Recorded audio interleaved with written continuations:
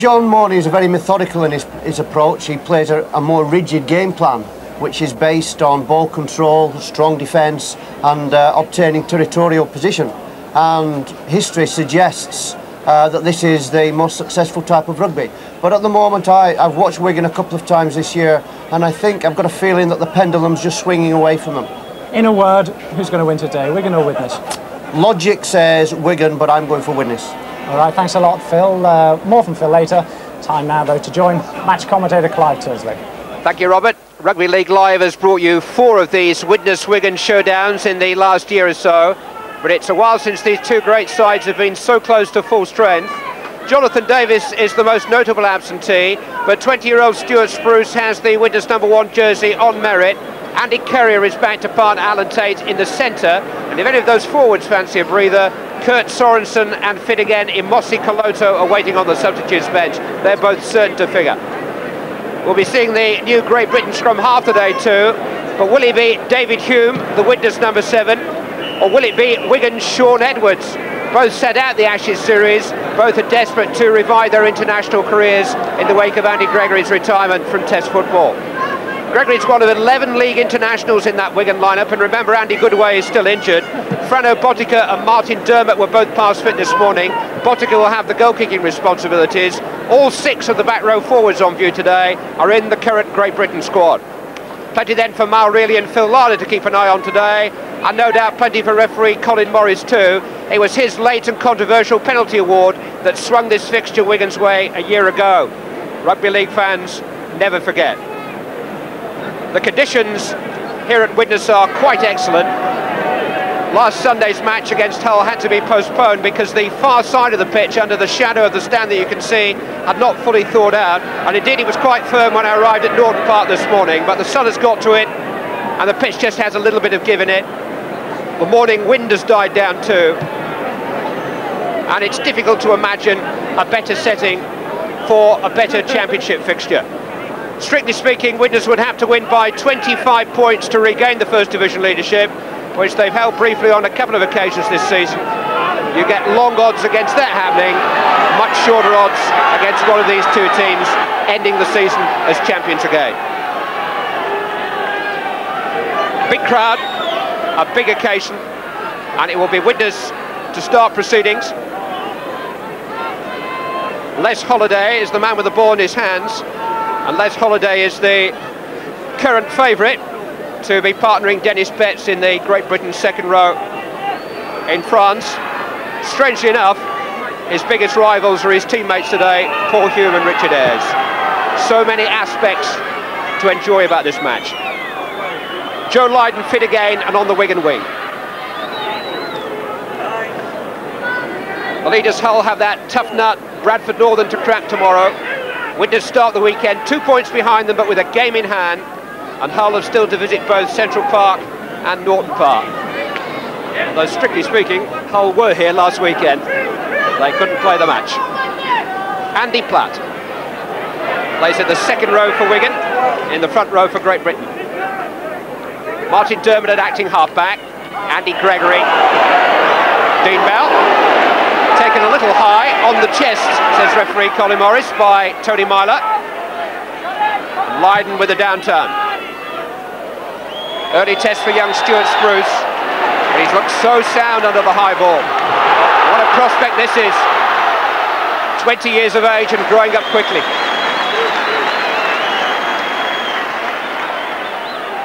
Paul Hulme, Tony Myler looking to make some space for Andy Currier, who was wide of Devereux then.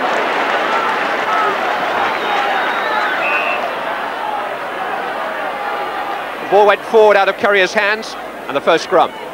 Already it looks like, Clive, that both these teams are prepared to throw the ball around, and certainly with uh, Tony Myler in sparkling form, they really look like they opened up the Wigan defence there.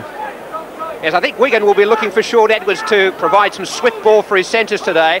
I think John Monie quite fancies the chances of Dean Bell and Kevin Iro running at Tait and Currier in the Widnes centres. Here's Steve Hampson running at Currier.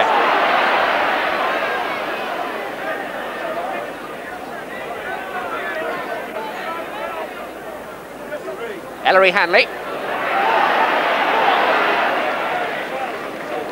Always makes two or three more yards than he any right to expect from him. Ian Lucas.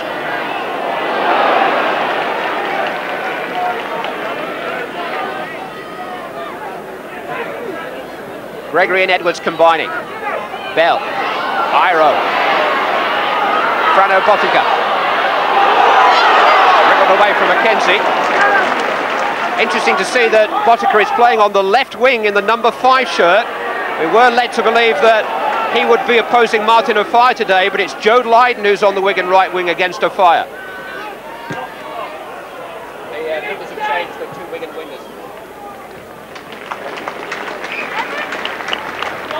Hugh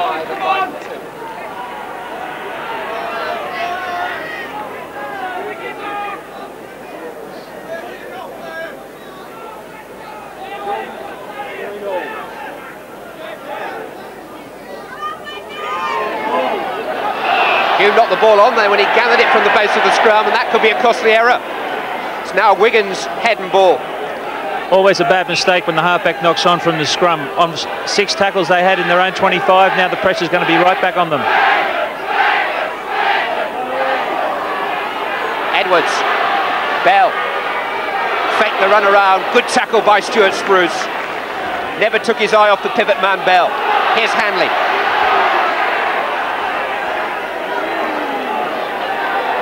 Three just about enough to bring him down. Good position for Wigan. Andy Gregory. And again. So brave to stand up there and look to offload the ball with the tackles flying in.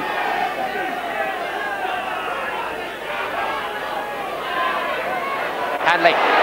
What will he do? He's got it out to Kevin Iro.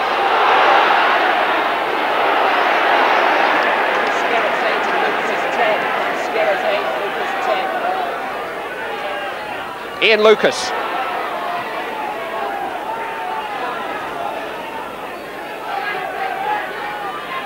Gregory again, already a central figure. Ball seems to be magnetically drawn to him. Dean Bell, great break, good tackle again by young Spruce.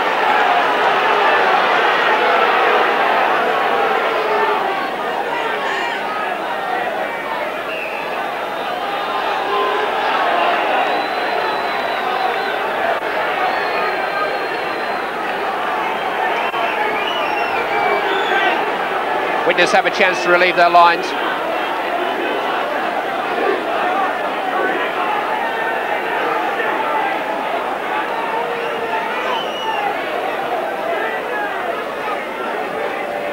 That's quite a talking, isn't it? Andy Gregory's got the message. We've seen some great attack and defence from this new number one, Stuart Spruce, in the first five minutes, Clive. Obviously a very good, talented player. Was what Andy Gregory was penalised for. A little nod of the head. Here's Assini Faimalo. Joe Grima.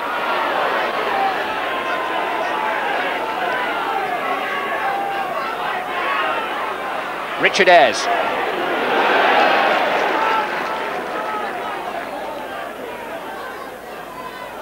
Be Holliday to kick. Charged down though by Andy Platt, and that could fall nicely for Ian Lucas. If only he could have gathered it. They went quickly up on Holliday then. Certainly would have been big trouble if uh, Big Ian Lucas could have held onto that kick because he had someone unmarked on his left flank and there was only one Widnes defender left. Big Ian Lucas is a bit of an understatement. He's over 17 stone at the moment. John Monie was saying to me that his big front row players need regular football and the recent postponements deny them that.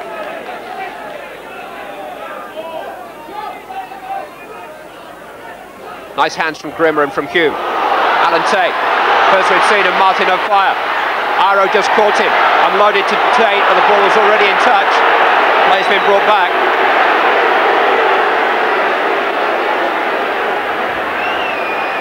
Borderline decision for the touch judge Jackie Beach to make. Doug Laughton had a very good view of it too. It was right under his nose. Widnes felt that had got it away.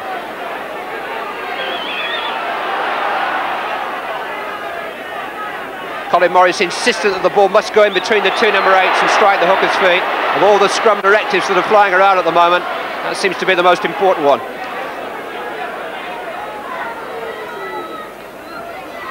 Edwards.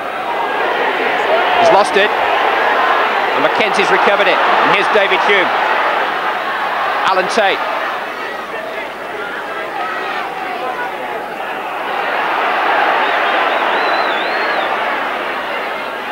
Faimalo. Real buzz of expectancy around Naughton Park every time this New Zealand prop rope forward gets the ball. And this one too, Joe Grima. They're both playing really well at the moment.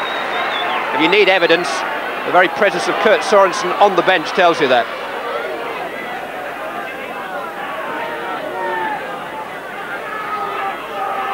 Richard Eyres Eight minutes gone, no score. Widnes in the white shirts on the attack. Trying to bring something from Les Holliday's kick, but Steve Hampson watched it very carefully. Pinned down by Devereux, and then by Hulme. Bell trying to run it out, taking some of the workload off his forwards. Edwards too.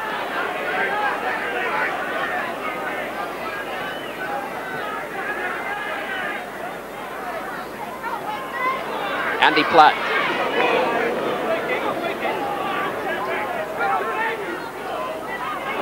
Nice little dummy by Dermott. He's got Skerrett at his shoulder.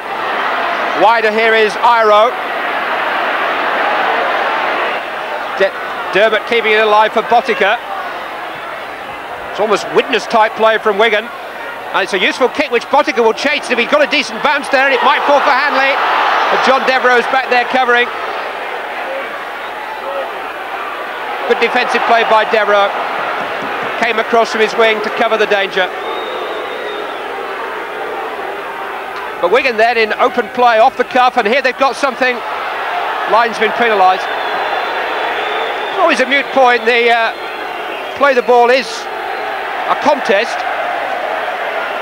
The ball can be kicked or heeled by the marker, providing it's not dangerous or before the ball's actually been released.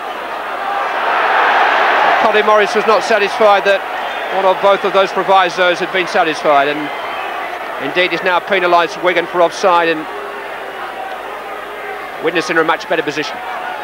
Great break there by Martin Dermott, the Wigan hooker. He's obviously very, very keen to impress against Phil McKenzie today.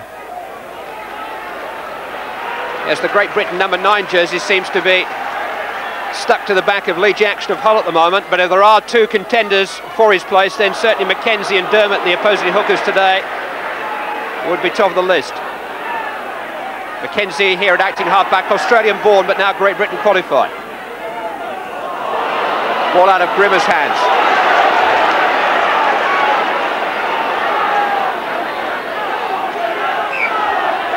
Offside Widnes, Paul Hulme and Asini Faimalo.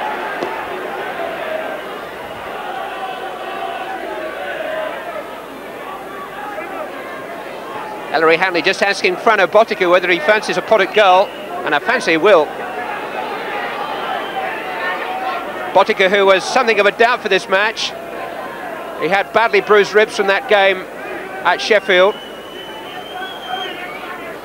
But in what's been a difficult baptism to the professional code for this former All Black, his goal-kicking potential has been a real bonus for Wigan. It's a while since they've had a really dependable specialist goal kicker.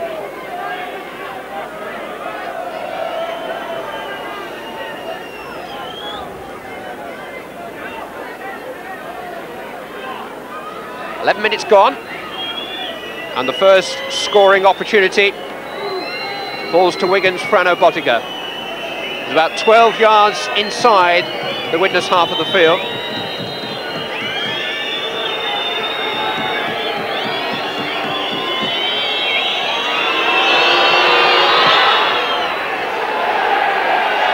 Beauty. First blood to Wigan. Frano Botica's penalty gives them a two-point lead with 12 minutes gone.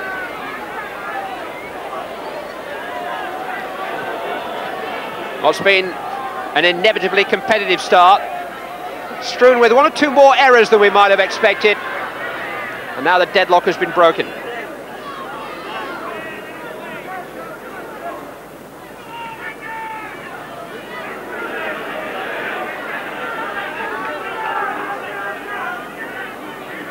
Denis Betts, we haven't seen too much of him so far. Widnes tackle is penalised. Obviously the forwards still trying to sort each other out in there. There's probably the four of the best props in the first division on show here today with the two Kiwis for Widnes and the two young Englishmen for Wigan. As a prop forward of some repute yourself, are there personal battles to be sorted out before we can get on with the team contest? Well, obviously, you've obviously got Kelvin Skerrett out there and Ian Lucas, who are very, very young and dynamic props, and they're trying to assert themselves over the, the very much in form Faimalo and Grima from Widnes. Boys will be boys. Here comes a very big boy, Ian Lucas.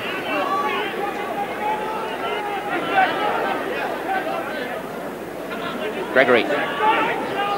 Beautifully taken on the burst. Hanley at his shoulder, ran past Devereux as if he wasn't there. Great play by Hanley, great try. Unstoppable.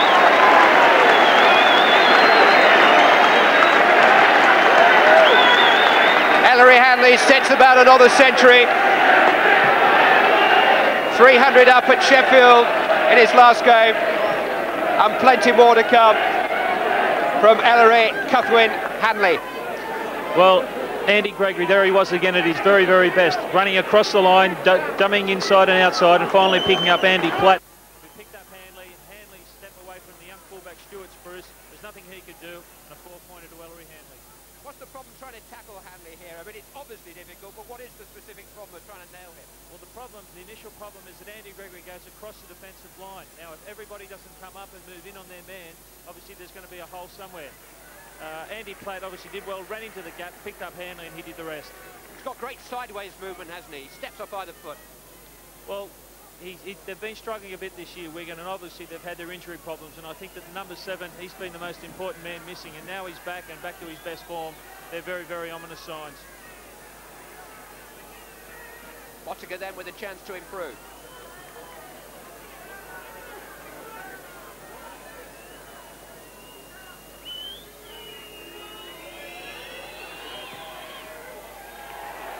Just pulled it. But Wigan have an early six-point lead. Ellery Hanley's 12th try of the season. And here you see the power of the man and the mobility. That's John Devereux that he just shook off there and young Stuart Spruce that he ran round. Two very strong and pacey backs. But Hanley, a forward by name, has got the running power of any back. Six points to nil then Wigan lead.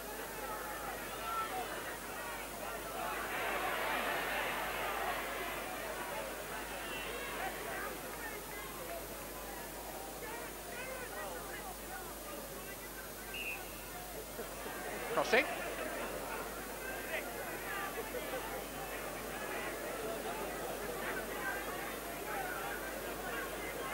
I think Colin Morris felt that the markers weren't properly aligned then. That's what Widnes have been penalised for.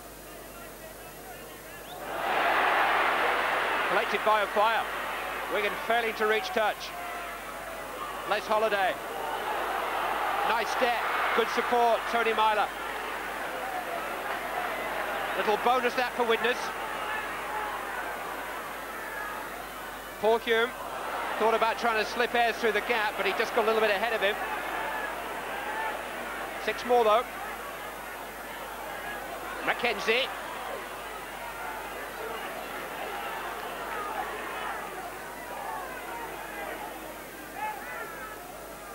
Holliday again.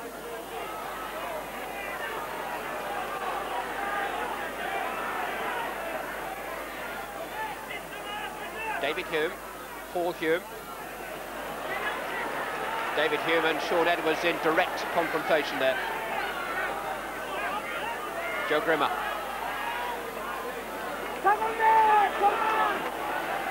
Widnes have been asking Grima to really go for it in the first half of games in recent weeks and have often substituted him into the second period. Here's Hanley. Hampson. Good tackle by David Hulme. Gregory. Strong running that time by Ian Lucas.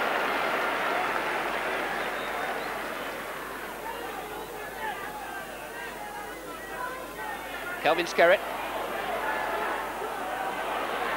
Andy Gregory just knits the whole thing together for Wigan.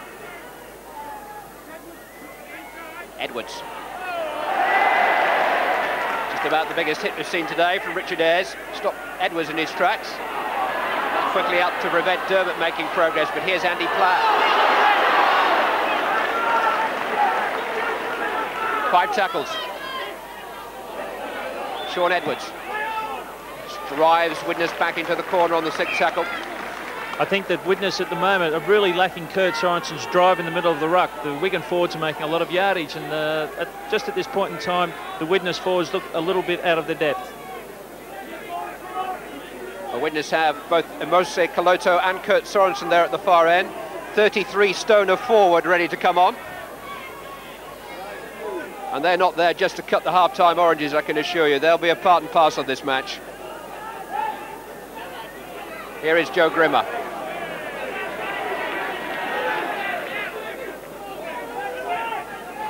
Now the two substitutes. I'm not quite sure which is the back substitute and which is the forward.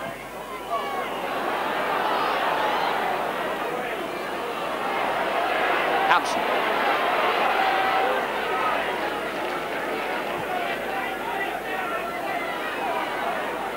Platt's very hungry for work today.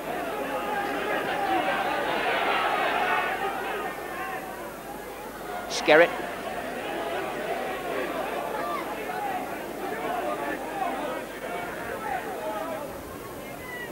Ian Lucas, Andy Gregory. To offload it wide, and they offloaded it straight into Currier's hands.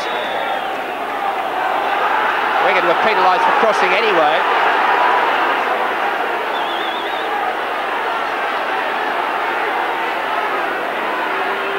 Tony Myler. Richard Eyres making a half break.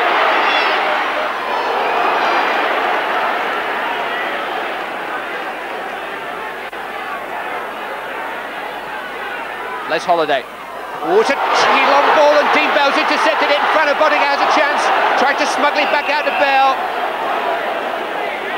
Ball's gone to ground. Paul Hulme's in trouble with the referee. But that was Widnes all over, taking chances, and that time it didn't come off. Well, Widnes are renowned for taking chances in attack, but against a team like Wigan, who can capitalise on the slightest mistake. There, there was just a good example. And if the last pass hadn't have gone to ground, I think they would have had try number two. Tony Myler on the left is the Widnes skipper. Paul Hulme's getting the talking to. It was Les Holliday's pass. Dean Bell gathered it, but Botica just couldn't quite smuggle it back into his hands. I was talking to the uh, Wigan A-team coach Graham West prior to the game, and Wigan beat Widnes in a reserve fixture at Central Park last night, and they had an interception tried to thank for that. It's the sort of chance that Widnes always run. We're into the second quarter. Wigan lead by six points to nil. Rugby League live from Naughton Park. It's the big two. Head to head. Joe Lydon fighting touch. Wigan with Ian Lucas. And Emosi Koloto is ready to make his return. Gregory again, another lovely ball to Dean Bell. Kevin Iro on the burst. Tackles were strong enough. And both Widnes substitutes are going to come on. Doug Laughton with just 21 minutes gone, has made the decision. And Sorensen and Koloto are in. And Grima and Paul Hulme are out for now every time Wigan put a set play on, with particularly with Andy Gregory, they look like they can break Widnes at any time. And I think the danger signs have been there. And obviously Doug Laughton has sent these two on to try and settle the younger fellas down.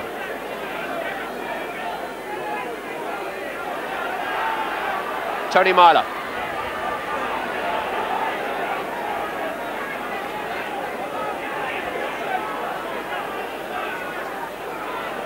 Here's Kurt Sorensen. He's actually with the Wigan as a teenager for a season. And here's Emosi Koloto, who's in high form at the moment. Sini Faimalo. Good Widnes names those, Koloto and Faimalo. Holliday. Oh, beauty. Had read it, but there was nothing he could do about it.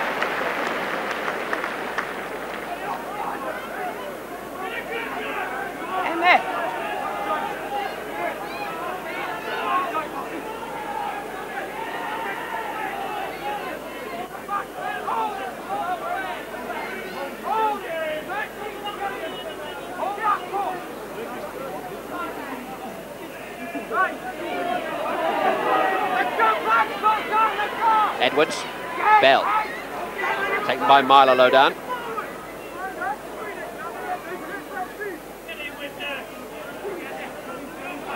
Been very quiet in the first half. Denis Betts, I would have expected a lot more involvement from the young test second rower. Yeah, the front row have really taken on the lion's share of the work with some good support from Andy Platt. Ellery Hanley.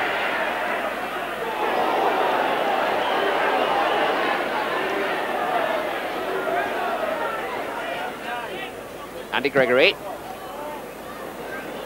Forcing Spruce to move across together.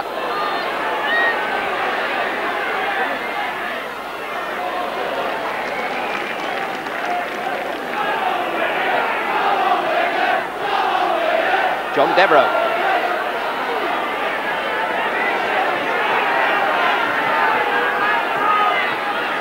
Here's Assini Faimalo again. Flymo, as they call him here at Naughton Park. Such a pacey forward. Holliday kicking again.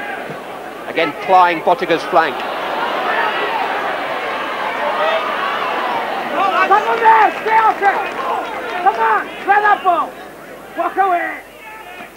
Dean Bell. He runs as straight as any prop forward.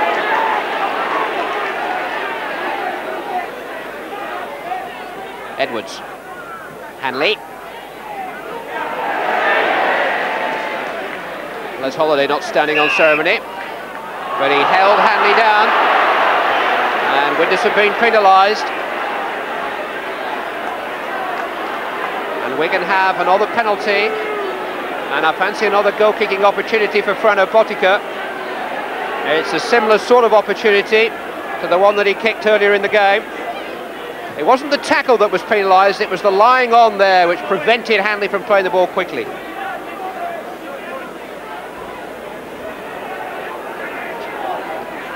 Very hard to see what that penalty was actually for. It was a great tackle by Holliday. He stopped Hanley dead in his tracks, picked him up and speared him into the ground. It's the sort of defence that they need to put against this Wigan pack at the moment to try and get back into this game. I think there was a little bit of hand-holding when they got on the ground just to make sure that Ellery didn't move too quickly.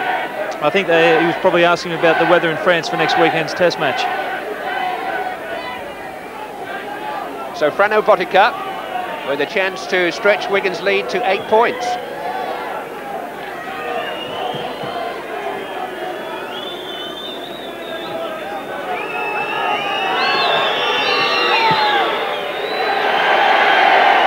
He's caught it so well again. And Botica's second successive penalty. Second successful penalty. Carries Wigan into an eight-point lead. 26 minutes gone.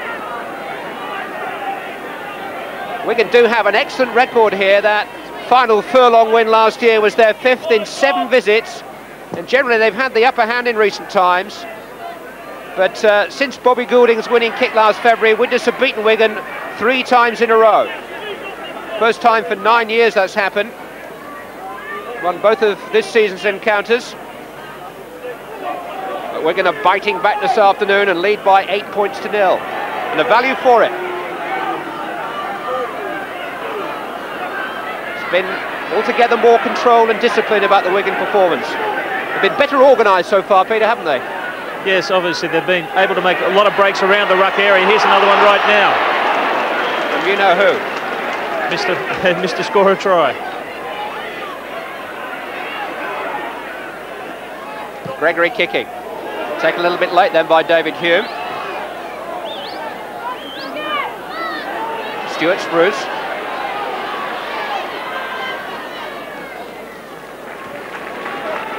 It's only his fifth start in the senior team, Spruce. He's growing up very quickly. John Devereux.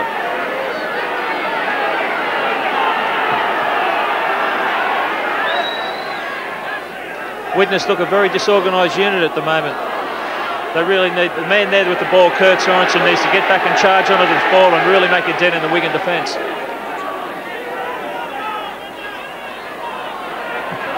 Holliday's kicking is their main ploy at the moment. He seems to have found his range all right. The Wigan defence, particularly in the forwards, is very, very strong. At the moment, there's no way through for the Widnes pack. And although it's very frustrating for them, they've really got to keep plugging away and, and just at the moment, they really haven't got any answer. As Holliday's kicking has been very accurate, but what in fact he's doing is just kicking possession back to Wigan. And here's Iro and Bell trying to make something of that possession. Edwards. Iro couldn't quite gather it, he knocked it forward. Just those couple of occasions when Wigan try something off the cuff that Widnes start to look dangerous. Well, I think that's where, where their game is best. Uh, obviously, if Currier had got two hands to that, it would have been six points at, at, under the sticks. But if he had a missed it and not got one finger onto it, I think Iro would have put it down at the other end. Widnes have good position here. David Hulme.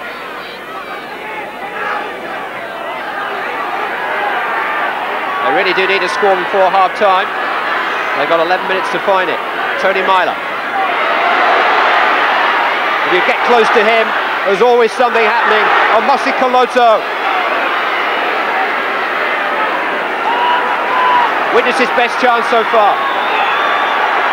Wigan penalised for offside. Ellery Hanley. Now, will Widnes take the two? They've surely got to.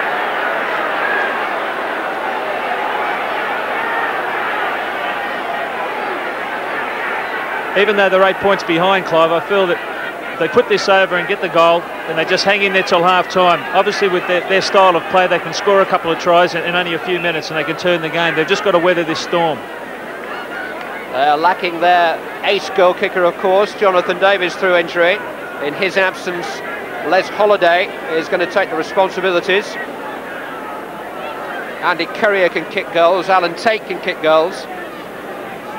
But Holliday, whose kicking has been such a feature of the match so far, has a real test of his nerve. He's very much a part-timer in this particular art.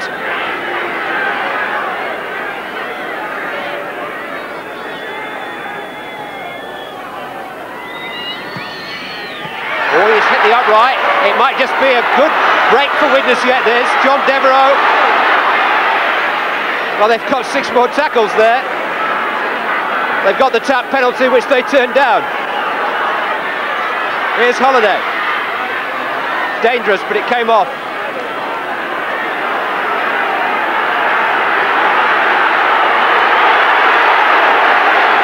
They've been penalised again. Now will Widnes go for goal again? Yes. Andy Currier is offering his services, but Les Holliday says, I'll get it right this time.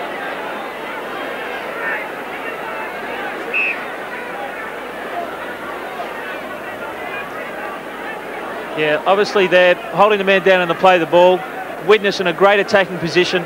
The Wigan defenders trying to hold him down for as long as possible to enable everyone to get back into position. I think Wigan may have it in the back of their minds that giving these penalties away might not be too costly without Davies.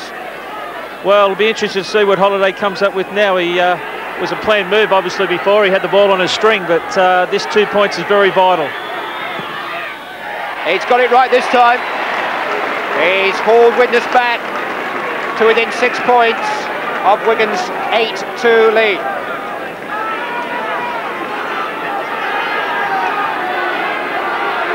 They really had to come back down the field with something, and they've come back with two points.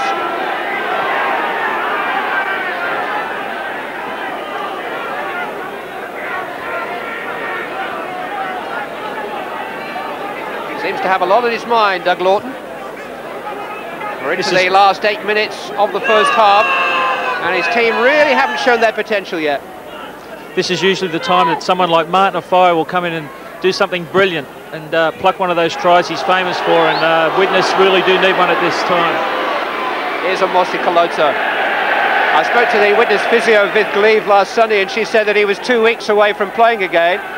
And here he is seven days later on the field, Koloto, an amazing specimen. See, women just don't understand men. All he had was a shattered knee. It was never going to keep him out, was it, Viv?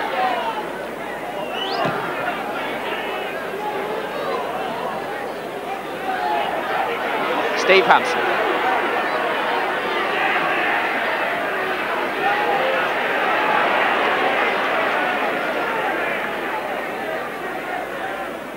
Kevin Iro.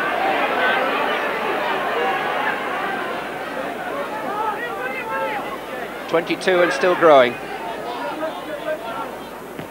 Denis Betts is only 21.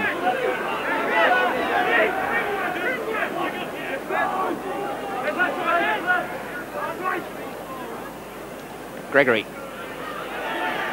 Edwards. Hanley's inside of him. Wasn't altogether aware of the options then, Shaun Edwards, but he's made a good break and some good ground. Dean Bell will make a little bit more, and Wigan are back inside the Widnes 25 on the fifth tackle. Gregory.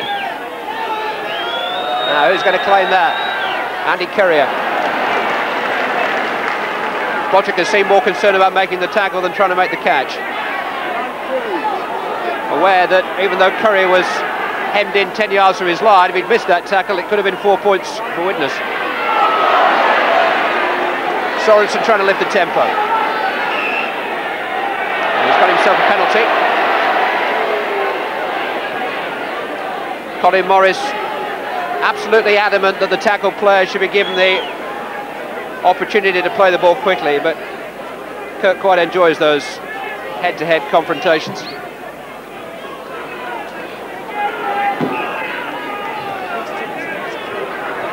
Approaching the last five minutes of the first half. Widnes in possession, trailing Wigan by eight points to two.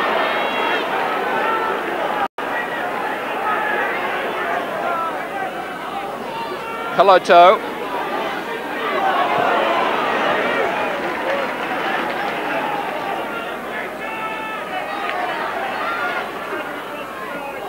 Richard Eyres.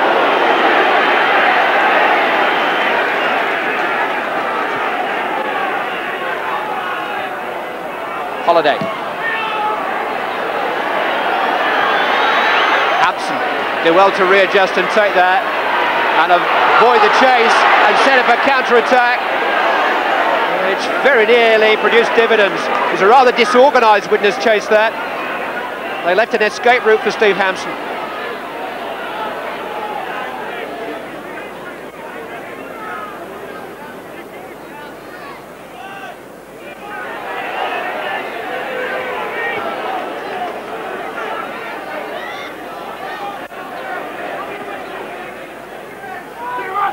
Iro.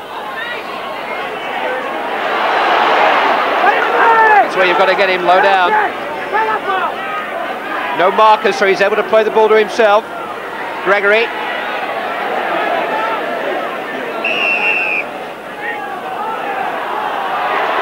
Sorensen penalised. I beg your pardon, it's Andy Gregory who's penalised. It's a Widnes penalty.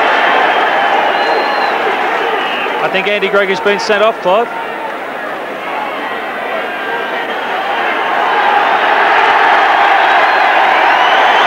sensational. The referee made a reference to uh, some sort of biting action before and just pointed to the dressing room for Andy Gregory, and that it's no sin bin. That's the end of Andy Gregory's afternoon. Quite, quite sensational.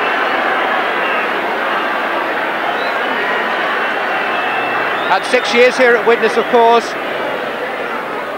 Now, what did he do?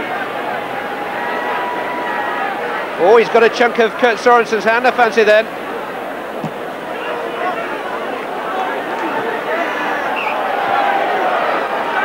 My word, you have to have eyes at the back of your head to referee these games. So Widnes a man up, but six points down.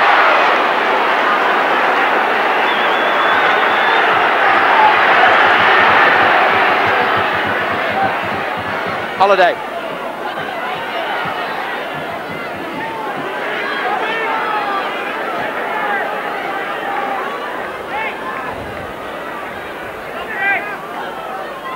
Holliday trying to tee something up for Myler. Oh, beautifully offloaded to Spruce, but what a cracking tackle.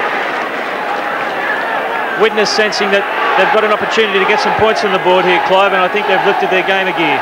Only two minutes of the first half remaining, and they've tossed it away.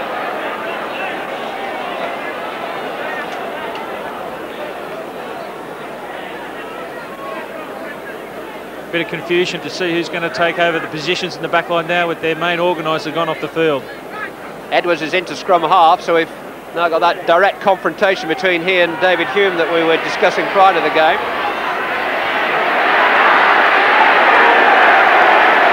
They were lining up to have a go at Hanley there. Let me tackle him.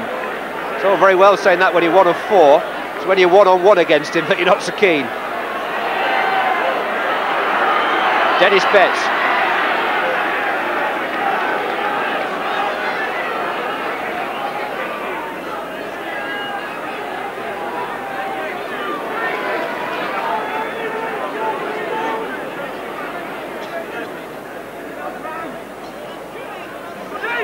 Dean Bell.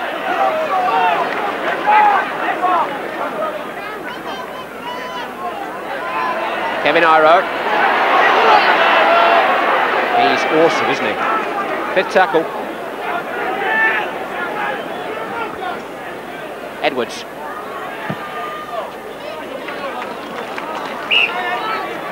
I think Wigan will be quite happy to see away this final minute of the half and get back into the dressing room and give the backroom staff there a chance to think about the situation and reorganise and take stock.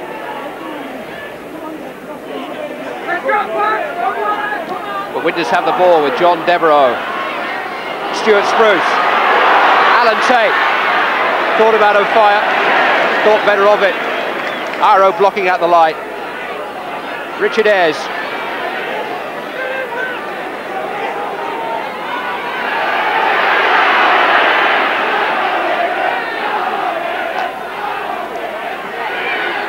Sorensen ripped out of his hands though by Kelvin Skerrett. It was a meeting of minds. Brute strength from Skerrett to win the ball back from Wigan. Dermott going on from acting halfback.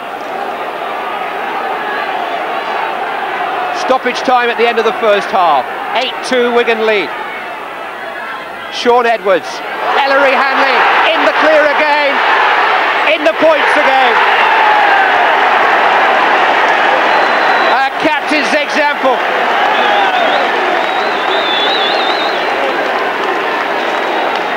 He just seems to be running downhill, doesn't he? When he bursts onto the ball like that, you can get a hand on him, but you cannot prevent him from doing what is in his mind. Shaun Edwards doing a good Andy Gregory impersonation there, finding Ellery Hanley hitting the hole just where he's expected to be. The cover's got no chance to get a hand on him. He's over for a try.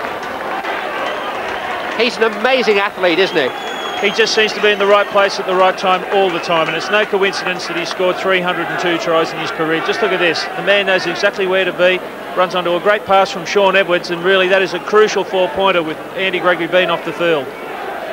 He's heading towards another milestone now because that's 194 First Division tries, and that is a rugby league record. And he's just six short of a double century in Division 1 with Bradford and now Wigan.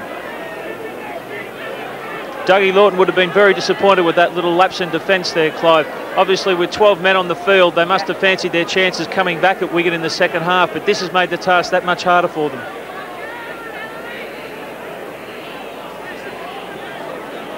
And Frano Botica with a chance to force Wigan 12 points clear.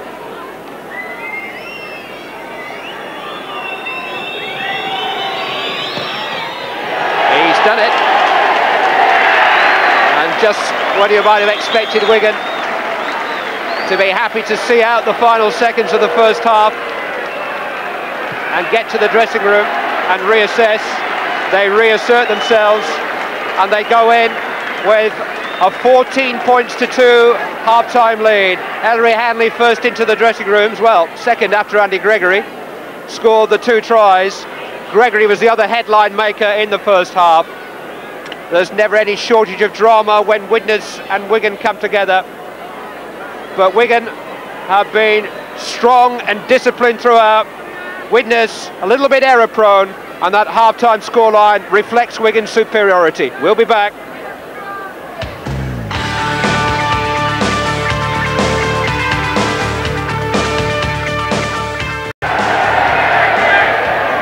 Welcome back to Rugby League Live from Naughton Park, where Wigan lead Widnes by 14 points to 2 at half-time.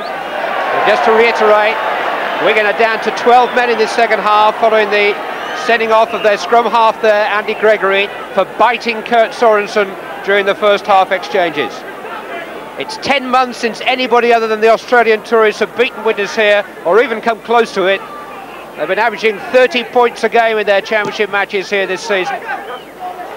But they're finding Wigan a rather different proposition to anything that they faced in the opening months of the season. A real test now for Widnes.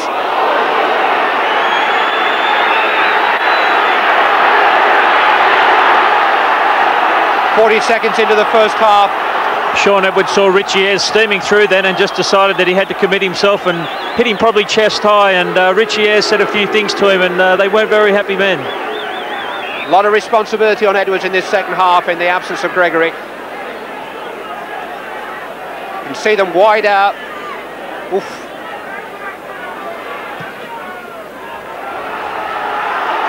Edwards penalised, Widnes penalty, Widnes inside the Wigan 25. David Hulme, Les Holliday. These first 10 minutes of this second period could be decisive. Tony Myler. Widnes have got to find another gear. Kurt Sorensen. Esene Faimalo. Lost the ball. Locked it forward. Scrum down. Wigan put in.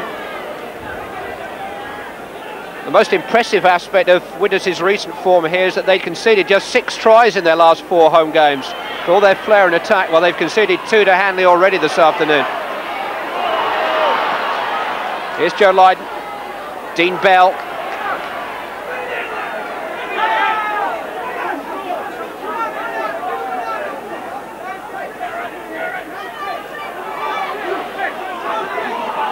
Denis Betts taking up Peter Tunks' invitation to get more involved.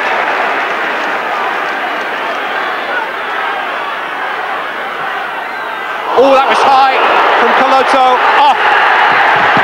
It's 12 aside. Emosi Koloto dismissed for the high tackle.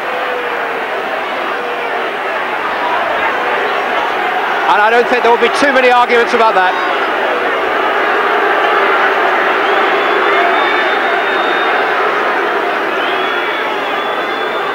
There's been a real purge on the head high tackle in rugby league in the last 12 months. That is exactly what the purge is directed at. Just just when the uh, balance of power looked like shifting to Widnes, then Emosi Koloto stepped back on the inside, threw his arm out and caught Skerrett under the chin.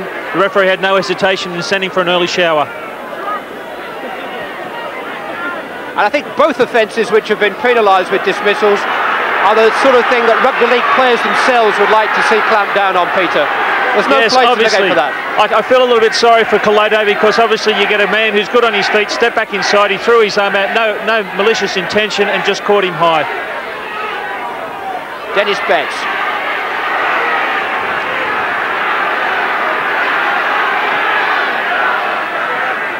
Andy Platt. What a strong game he's having.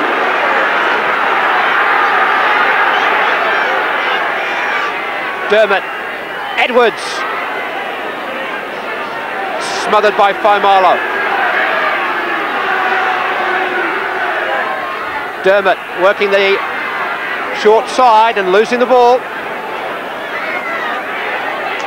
Recovered by Stuart Spruce.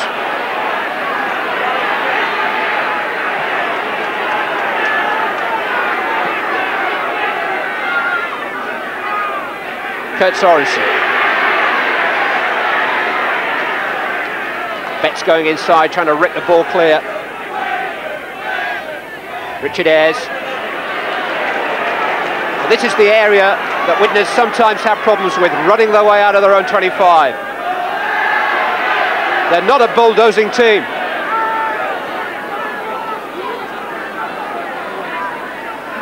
They've got to kick their way out, and Holliday can do that. Hampson taken on the full.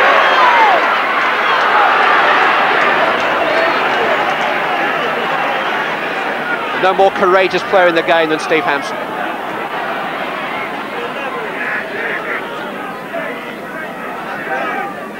Five minutes of the second half gone. Still Widnes 2, Wigan 14.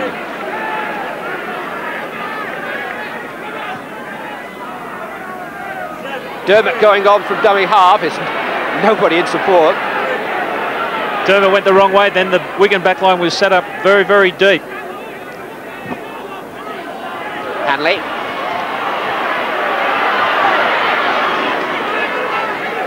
Five tackles.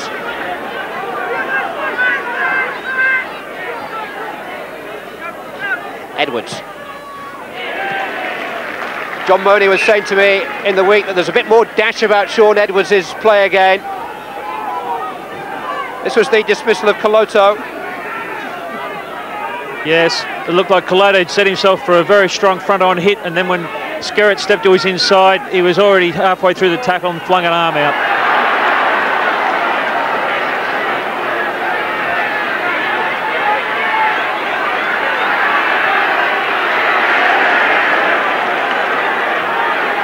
It really is getting hot in the trenches.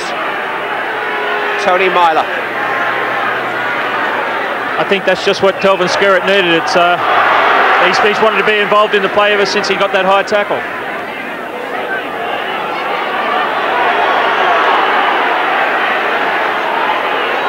The most impassive man in the ground, Doug Laughton, the Widnes coach. A look of concern on his face, though.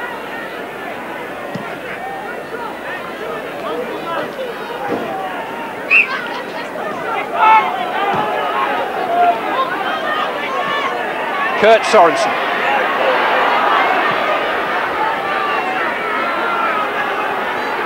He really sets the temperature for the Widnes performance when he's on the field, Sorensen. Offside. There were two markers and Edwards straight in to the five metre no man's land and was penalised.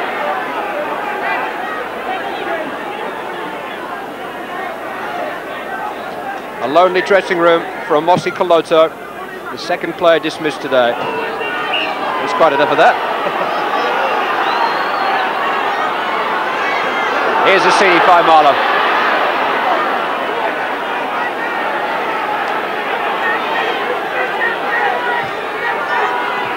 There's Holliday. Hanley was waiting for that.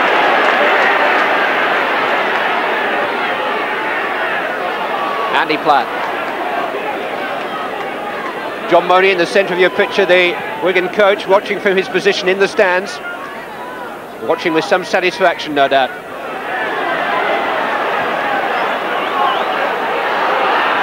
Widnes have the ball back though. David Hulme, Kurt Sorensen. Skerrett says he's mine. Lucas it was who made the tackle. Stuart Spruce in the line.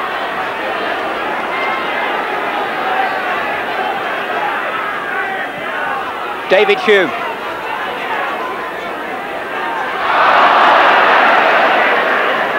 Every time Widnes look like they're about to launch a very, very good assault, there's just little mistakes creeping into their player. Drop ball, knock on, and uh, it's really just destroying their build-up.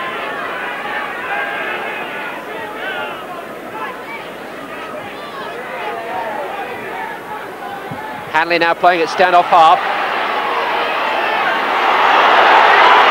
Hat-trick hunting. Who can catch him? Martin Offiah, his great friend, made the tackle in the end. He had to. Shaun Edwards, tapped by Offiah once more. Who says he can't defend? Hanley's down injured for the moment, a little bit dazed. Dean Bell.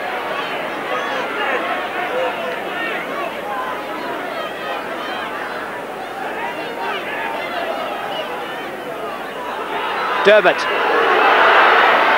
Edwards, that's what he does so well, supports the breaks. And he's got a penalty.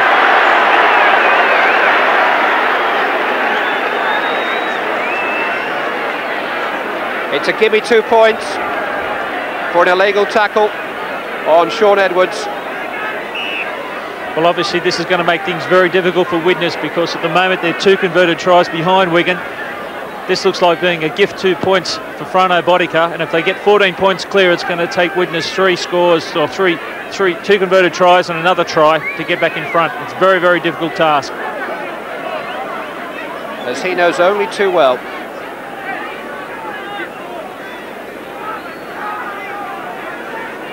So a very big kick for Frano Botica. It's the simplest chance that he's had so far, but he's been in this game long enough to realise the significance of stretching the Wigan lead beyond the 12-point mark.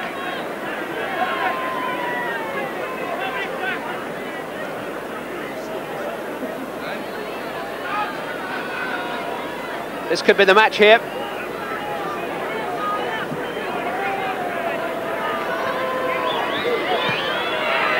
Clear breathing space for Wigan.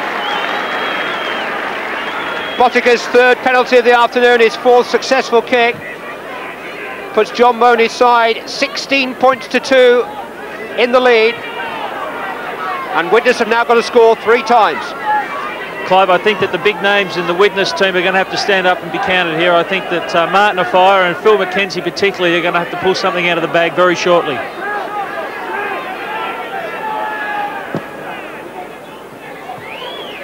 We've had 11 minutes of the second half. Denis Betts for Wigan.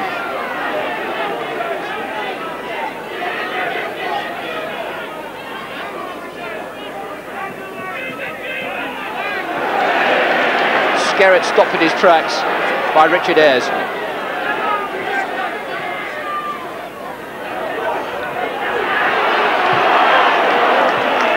Platt again, taking on all comers.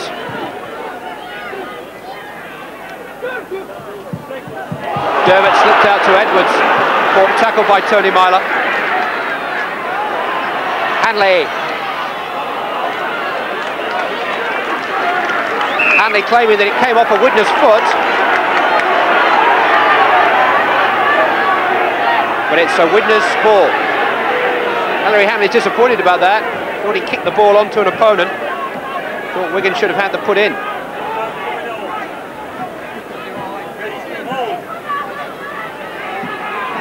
Myler to take. This hasn't quite regained his spark after that groin operation earlier in the season, Alan Tait. In fact, he's got to go to see the specialist again on Tuesday for a checkup. Myler sprucing the line.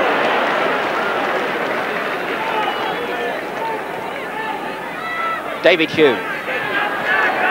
Hanley's defence, which Mal really highlighted at half-time, again evident. Tony Myler, bit loose, well collected by Spruce. Here's Devereux.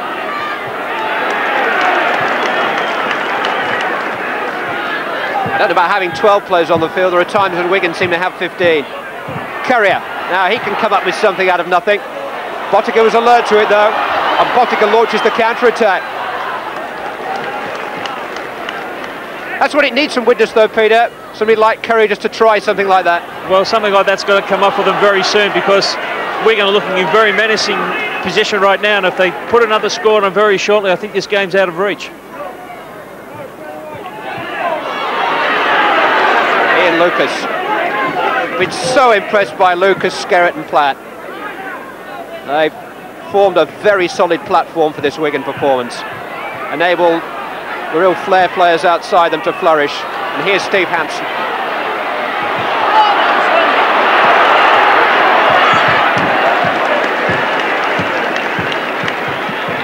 He can only watch and hope.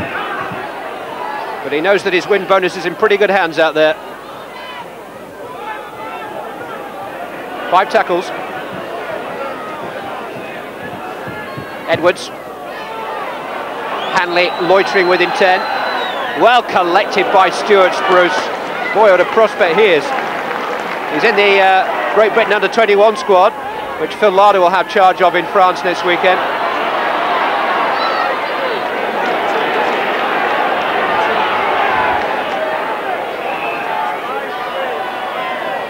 Again, Wigan's markers weren't properly aligned there.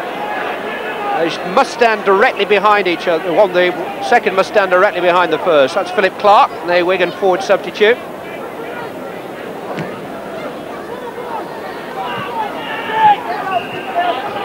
Immediately and directly behind the two involved in the play of the ball is the letter of the law, the guidance for the marking players. And Wigan have been caught out a couple of times there.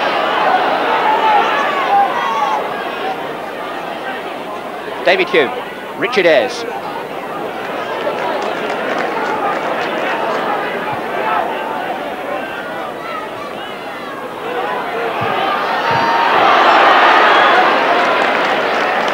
All seems to be one pass at a time for Widnes. There's nothing very planned about it.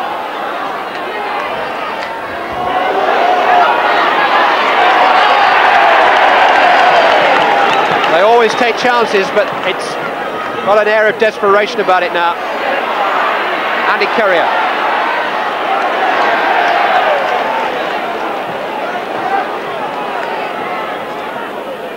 Five tackles and where have they got? Holliday did well to get his kick away, but it's right down the throat of Steve Hampson. Fire making the tackle again. Martin Dermott's had a busy match. Remember, he played in two out of the uh, three test matches in New Zealand ahead of Lee Jackson, Martin Dermott, the Wigan hooker. Jackson's one of the first names on Mal Reilly's team sheet at the moment.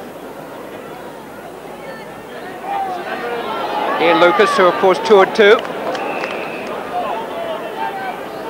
It's interesting to note, Clive, that the only two Widnes players at this point of the second half that really can hold their head up are probably Les Holliday, the loose forward, and Stuart Spruce, the youngster at the back of the uh, back of the side. And you would you'd be expecting a lot of the bigger names to be putting a lot more input into the game. The last set of six they had off that penalty, they actually actually lost 20 metres in the set of six tackles. As Stuart Spruce. He's a prospect pro product of the uh, Widnes Tigers side who so much talent has come through locally for this club. Another of their local talents, Paul Hulme, is preparing to come back into the match. As Edwards kicks. John Devereux.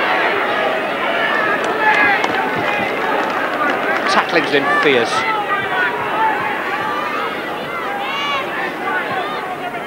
Spruce prepared to take on the responsibility. Holliday's got it away to Sorensen. Tait's made the inside break. Sorensen regathered it. Six more.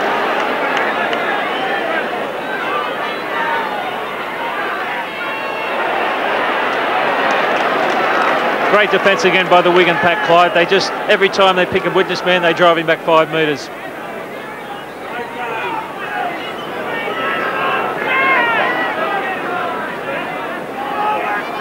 Andy Currier. Ah, was he blocked by Skerrett? Referee had a look and said no. Steve Hampson.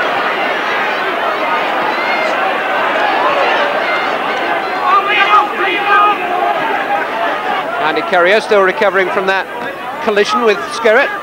Collision is what the referee felt it was.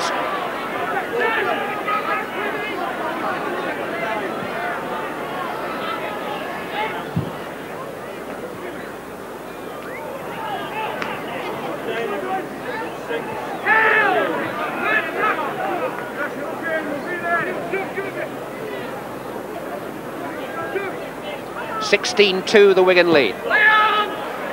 Hanley finding touch again.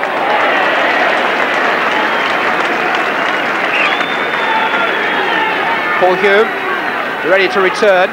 And interestingly, it's Phil McKenzie who's going to be substituted. And he really hasn't been himself today. Paul Hulme, of course, can slot in at hooker. McKenzie's staying on for the scrum, which he's won. Myler on to Tait. Might have moved that on to Currier and Devereux. Holliday. Helping hand from Iro.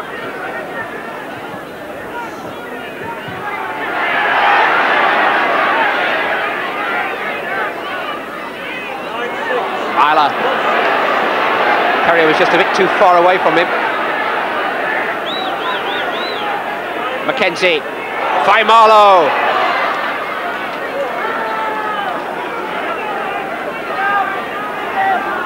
Devereux in ball. Holliday. Into the final quarter then. Widnes still trailing by 16 points to 2.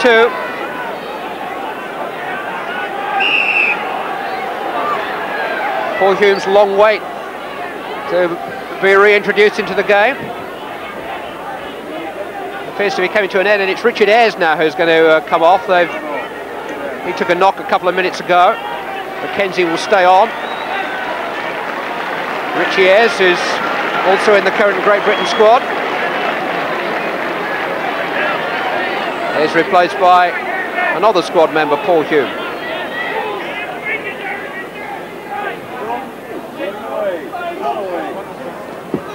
Joe Lydon.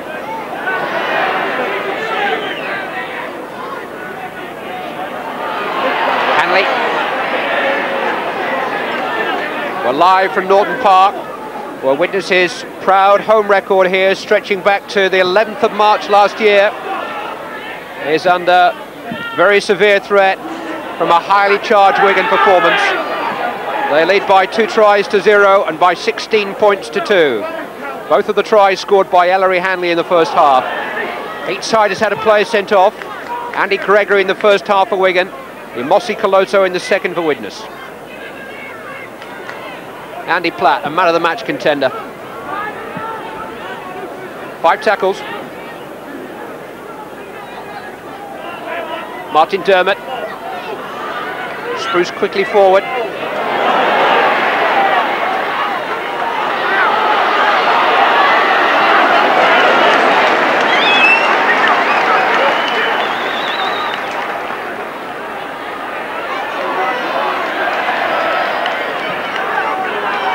Fire's trying to get into the game. He was held down then.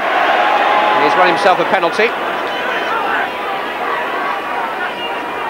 Be interesting to see if Widnes can use Les Holliday down in the uh, Wigan 25 here. He seems to have the potential to get the ball away, but unfortunately he doesn't seem to have many options or many runners when he gets down there.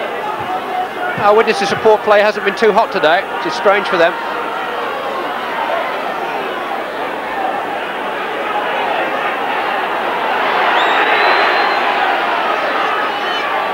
David Hulme, Paul Hulme.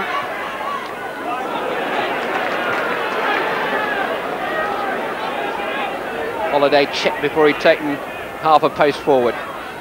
David Hulme. Great Wigan defence again. Great credit to the coaching staff this performance. A lot of talk in the town of Wigan recently about the nature of the team's performances at the moment. Some fans feel that they're too defence orientated, but you can't argue with the effect of their cover against arguably the most dangerous attack in the country. And again, they've made no progress at all on five tackles, and Holliday has to kick. It's a real bomb for Steve Hampson. Rock solid.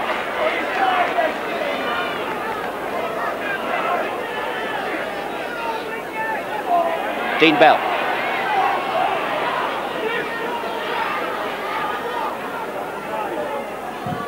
Edwards. Dummy to nobody then. There's absolutely nobody outside of him. Here's Kevin Iro. What a break. Big tackle for Stuart Spruce to make. Iro's offloaded it. Shaun Edwards. Iro again. Great break. Ellery Hanley. Hat-trick. Oh boy, what a try. Ellery Hanley rounded it off. But a great, great Wigan move. It's 10th try for Wigan against Widnes has surely sealed the victory. His third of the afternoon makes it 20 points to two. Shaun Edwards sees no one on his outside there, gives it to Kevin Iro, and look at the pace and power of this big man. He takes off down the sideline, looks inside, who's there? Shaun Edwards accepts it, the cover comes back across to get him. Back to Kevin Iro, might have been a little bit forward, and Ellery Hanley, always there, just accepts the third try of the day. There we have Iro, gives the ball back to Edwards. Edwards looks for support, gives it back to Iro again. The big man pulls it in. He just gives it back to Ellery Hanley, and there he is again to torment the Widnes defence. Ellery Hanley's third try. Ellery Hanley scoring a Widnes try, really. It, it's that, that's their trademark, isn't it? Well, really, with the, the performance today, just you take uh, Ellery Hanley's three tries and particularly their defence. The Wigan forwards have been absolutely phenomenal today. Andy Platt, the two prop forwards, have really put in a great performance. And really, if this hasn't got the alarm bells ringing in a lot of the first division sides, particularly Hull, I'll be very surprised. Wigan have never been higher than second in the table this season. They started the day in fifth.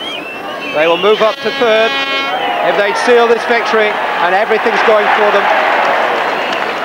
Botica improving, Hanley's hat-trick try.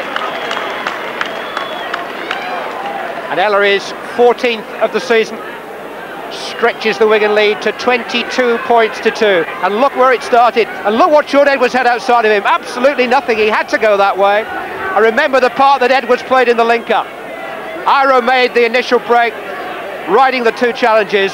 That's what Edwards does superbly, support. That might just have been forward but nobody would argue with the quality of the try.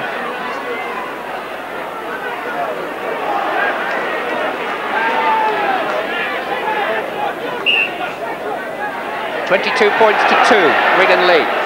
I think it's time now that the Widnes pack particularly try and put a bit of pride back into their performance and salvage something from this. Otherwise, I don't think are going to be too worried about playing him later on in the season.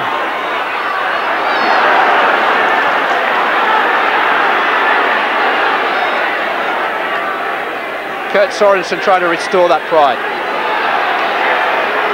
It's six years since Wigan reached even this stage of the season without a trophy. Widnes, of course, hold the Charity Shield and the Lancashire Cup. Alan Tait. Ball went off Spruce has got the try. He's really deserved that too, Stuart Spruce. This is a bit of a, a melee developing away from the play. Shame that all this should take the attention away from a well-earned try from a very, very good young player, Stuart Spruce. Denis Betts is really angry.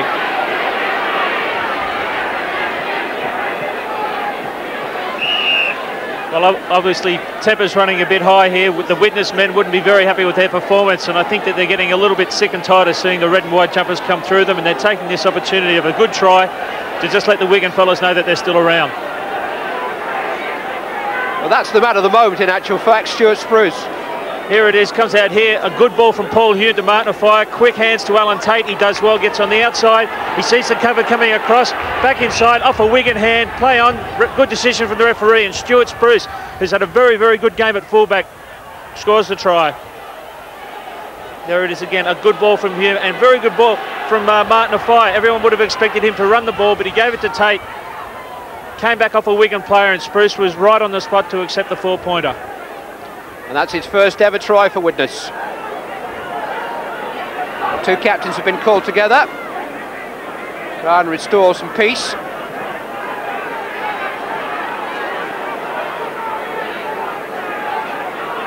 I think Colin Morris just looking at his watch there, maybe said to Ellery Hanley and Tony Myler, look, we've only got 12 minutes to go. Just settle it down. I think from the restart of play, Clive, I wouldn't be surprised to see these uh, young bulls from Wigan, Skerrett and Lucas, get stuck right into this Widnes pack because I know that Denis Betts was having a lot to say when he was pulled out of that little uh, little fracas with uh, one of the Widnes players, and I'm sure the Widnes players uh, feel likewise.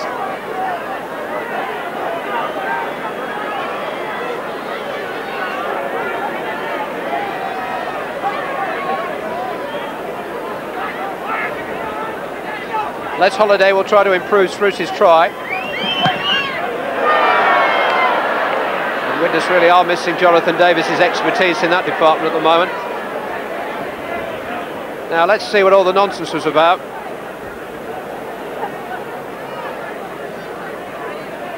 Widnes moving the ball wide. Here's Denis Betts making the tackle. Now let's see what happens after that. Well, there's a little bit of a confrontation afterwards.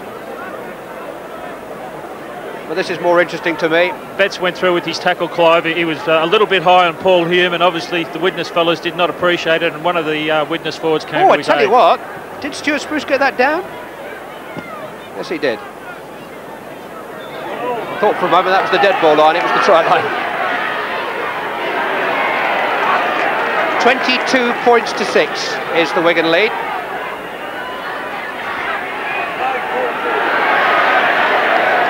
We have 10 minutes to go. It seems unthinkable that Widnes could pull this game around. If anybody can, they can. But Wigan are just not in the mood to let them. There's a lot happening just around the fringes of the rucks at the moment.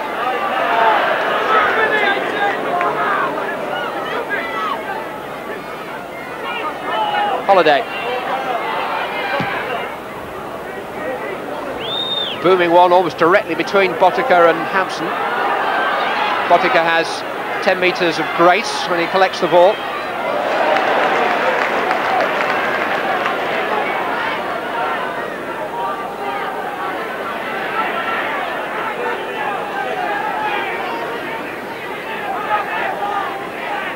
It's amazing to think that Wigan have been beaten eight times already this season, four of those in the Championship. Nobody in the last 10 years has won the title with any more than 60 feet, so they are walking a little close to the edge at the moment. But all the signs are that they're getting their best players back and getting their best form back. Iro. Lucas stopped.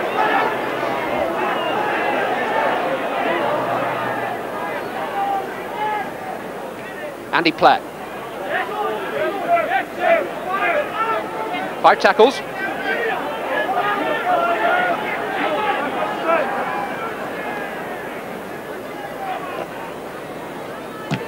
Leighton's kick. Spruce taking it well again. John Devereux.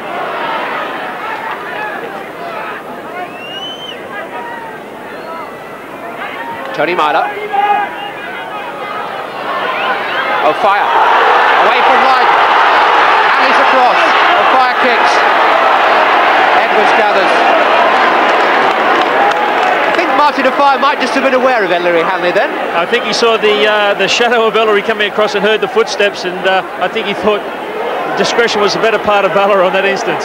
Yes, he took the ring road after he'd kicked. He didn't go right through the middle of town, that's for sure. What a great effort of Ellery Hanley, the, the triple try scorer, to get across in cover on a man of his pace. That's Denis Betts, who was the central figure in the shenanigans that followed the Spruce try. Kelvin Skerrett.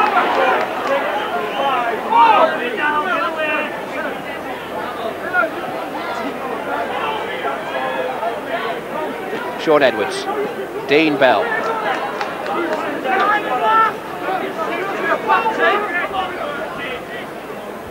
Edwards will kick on the fifth tackle. The first hint of a mistake by Stuart Spruce, but he's had an impeccable match.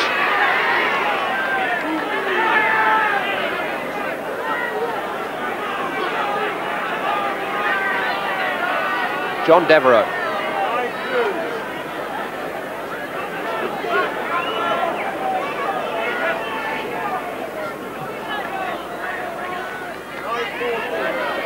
This fixture was quite literally the title decided two seasons ago. Wigan had to win here to deny Widnes but failed. They returned with a four-point championship lead last February and pickpocketed a dramatic late victory, which probably more than any other helped them regain the crowd. I wonder if victory today will prove to be as important to them. It seems inevitable now. But here's Kurt Sorensen trying to do something about it. John Devereux. Six minutes remaining. 16 points the gap. Widnes on fifth tackle. Paul Hulme. Assini Marlow. They've got to keep it alive. Hulme again. Looking for Spruce inside him and finding Odie Short Edwards. He must know the game's up. But not the whole championship race. Widnes will still have a big, big say in that. They will still have a lead in that particular contest over Wigan, whatever the result tonight. Three points between them at start of play. Kevin Iro forced into touch.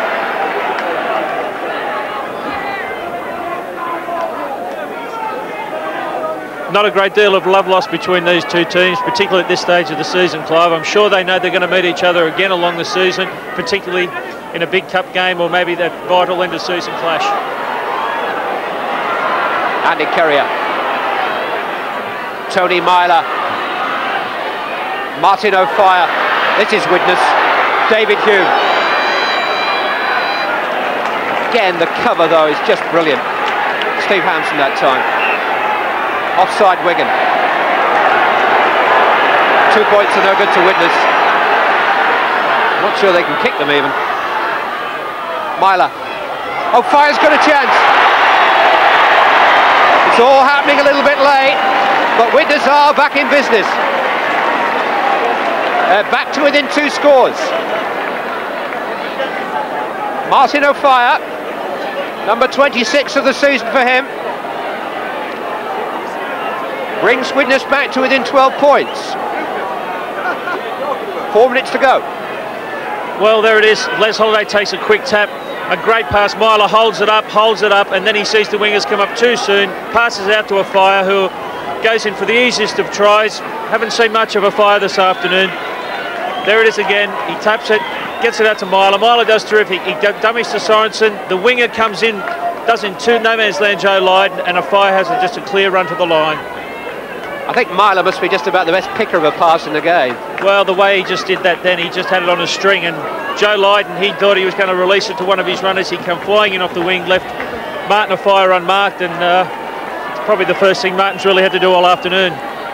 Andy Currier has taken over the goal-kicking responsibilities from Les Holliday. No more successful from a very difficult chance. Well, they've got to score two converted tries in three minutes. But Martin Offiah's try, which is his 11th in his brief career in the game against Wigan. That's a measure of the man when he scores at the very highest level. Just shows you the, the class and skill of uh, Tony Myler here. Les Holliday taking the quick tap, getting the ball out to him. He just holds up the pass beautifully. Look at that, three times he held it back, finally gave it to Offiah. No wonder he scored so many tries in First Division.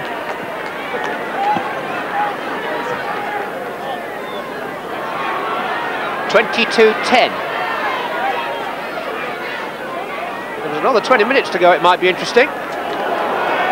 Whether or not, there are two and a half. Kurt Sorensen.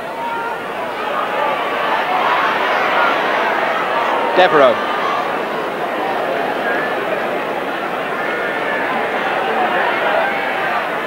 You're never quite sure when you're playing against Widnes, though, are you, Peter? Well, if there was one team you said had to score two converted tries in three minutes, I know who most people would pick.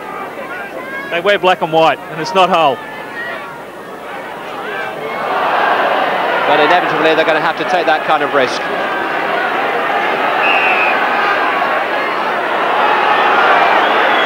Scrum down the verdict.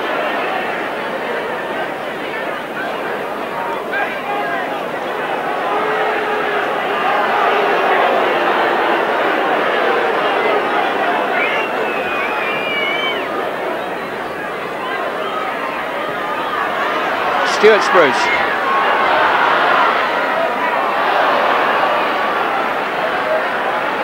Out on by Myler.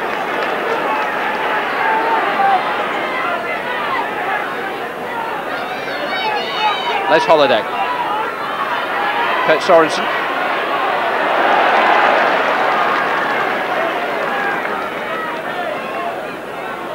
David Hulme.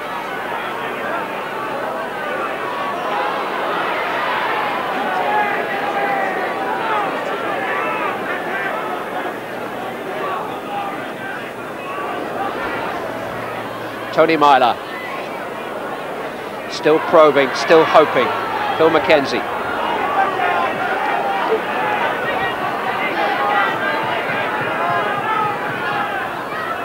Les Holliday. Esene Faimalo. He's been a little bit muted by his own high standard today, Faimalo. Wigan have won the contest up front. Holliday kicking again on fifth tackle, finding touch and forcing Wigan back. We're deep inside the final minute. John Monie, the Wigan coach, leaving his place in the stands to descend towards the dressing room and join in the celebrations which will commence quite shortly. This has been an awesome performance, Clive, when you consider that they lost their on-field general in the first half and one would have expected them to wilt a little bit, but instead they got stronger.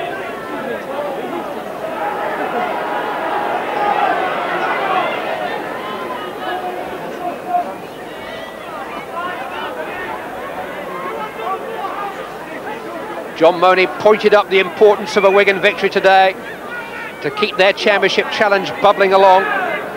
They really couldn't afford to have slipped five points behind Widnes in the race. Instead, they're going to close the gap to just one. They're going to leapfrog over Hull Kingston Rovers and Leeds into third place behind Widnes and Hull. And I think the three main contenders are now lined up for the championship run in. I think they're going to sort it out between them. Frano Botica. His kicking's been a factor today, Botica. You know, Wigan are only three tries to two ahead, yet they have a 12-point lead. Which begs the question what impact Jonathan Davies might have made on the match. But Wigan have been so superior in so many facets. Martin Offiah. Alan Tait.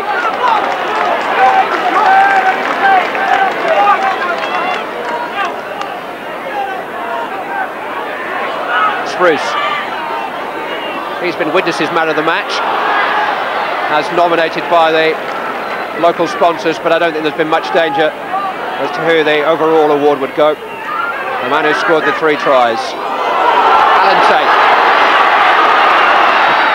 Clever kick. Martin Offiah's looking for his second. Martin Offiah's got his second. Two minutes of stoppage time. The Martin Offiah fan club meets in the corner to celebrate yet another try. Certainly will forge him ahead of Greg Austin in the race to become the game's leading scorer for the fourth successive season. But I don't think it's going to change the match too much. There we had a great break by Alan Tait, took a reverse pass. He saw that the Wigan cover defence was converging, so he just put a nice little cross kick in. Here we go again. The ball's flung out, thrown anywhere there. McKenzie does well here, turns Tait back on the inside. Tait, who's been fairly quiet all afternoon, sees he can't get a good pass away, so puts a cross kick in. And there is uh, Martin Offiah, probably the best vulture in the game, coming along, just uh, easy pickings for him. Good to see Alan Tait's involvement in two of those three Widnes tries. He's such a good player and his fitness has been such a hindrance to him this season. Holliday having another go. But Wigan have managed, uh, Widnes have managed just one successful kick this afternoon. They now actually match Wigan three tries apiece, but Wigan still had that 22-14 lead, and that's the lead that they will take back to Central Park with them tonight, thanks to Ellery Hanley, a majestic hat-trick from the master of the Rugby League universe. An eventful and compelling match. Wigan always held the upper hand. Their forwards laid a marvellous platform for Hanley and company. And despite Widnes coming back with a try from Spruce and two from Offiah in the closing stages, there was never much doubt where the points were heading. Wigan become the first side to win here, other than Australia, for 11 months and move up to third place in the table. We'll be back with the verdict in a moment.